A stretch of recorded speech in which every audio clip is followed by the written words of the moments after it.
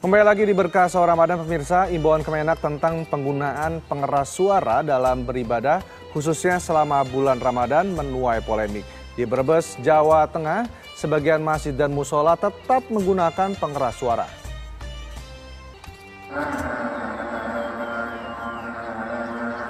Imbauan Kementerian Agama Republik Indonesia agar tidak menggunakan pengeras suara selama bulan Ramadan tak dipatuhi oleh sebagian masjid dan musola di Brebes, Jawa Tengah.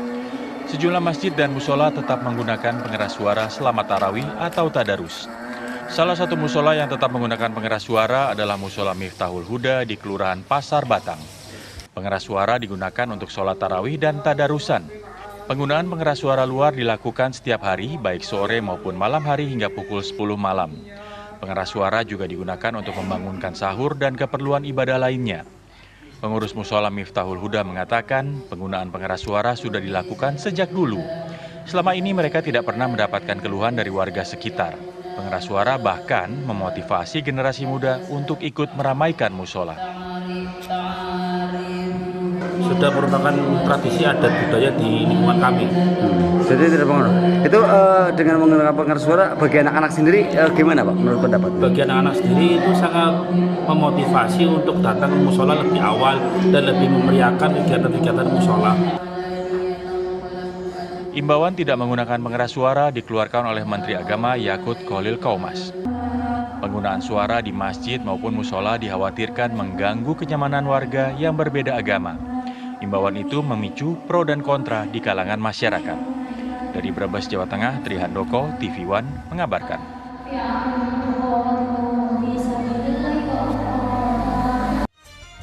Aturan penggunaan pengeras suara di masjid atau musola yang diterbitkan Menteri Agama itu untuk menyeimbangkan antara kebutuhan siar agama dan menjaga harmoni sosial. Ketua Dewan Masjid Indonesia yang juga Wakil Presiden ke-10 dan ke-12 Yusuf Kala mendukung demi terwujudnya suasana ibadah yang syahdu.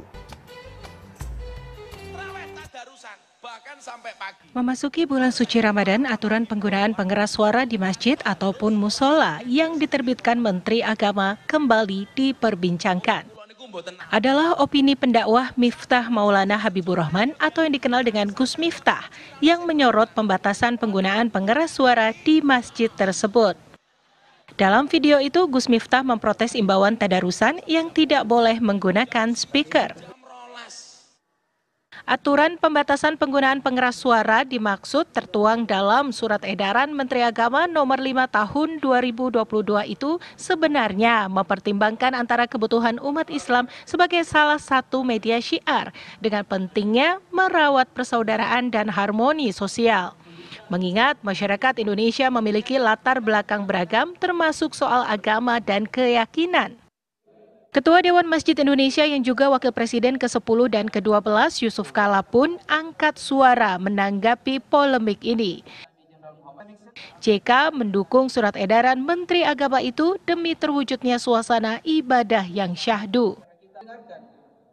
Ya, sejak dulu juga kami di Dewan Masjid DPI itu mengharapkan, mengatur itu bahwa saudara dan keluarga banyak diboleh dengan oleh azan. Hmm. dan juga pengajian awal yang jangan anu, paling sedikit hanya paling hanya 5 10 menit. Tidak boleh lebih dari itu. Supaya ada syahdu. Ini yang ibadah itu perlu syahdu. Kalau terlalu besar soal sistemnya banyak musik yang lain saling berhadapan jadi jangan antara masjid itu saling ber, apa itu suaranya saling apa harus syahdu mesti harus syahdu Pendapat senada juga diungkapkan Wakil Sekjen Majelis Ulama Indonesia Muhammad Ziyad yang menilai aturan penggunaan pengeras suara di masjid ataupun musola itu sudah cukup moderat. Ini saya kira aturan ini sudah sangat moderat sekali. Gunanya adalah yang pertama untuk mengatur suara masjid supaya jangan sampai suara masjid ini kemudian mengganggu kegiatan kaum muslimin yang lainnya di apa itu di rumah masing-masing. Misalkan ada orang yang sedang sakit, orang sedang ini dan lain-lainnya. Pak, bagaimana kalau misalkan tadarus semalam suntuk misalkan? Di aturan ini boleh, yaitu dengan menggunakan suara pengeras dalam. Termasuk dalam pengajian-pengajian kegiatan keagamaan itu adalah menggunakan pengeras suara dalam apabila jamaahnya membludak sampai di luar baru dibolehkan penggunaan. Sudah semestinya jika syiar agama di tengah masyarakat juga mempertimbangkan terwujudnya ketentraman, ketertiban, dan kenyamanan bersama. Tim TV One mengabarkan.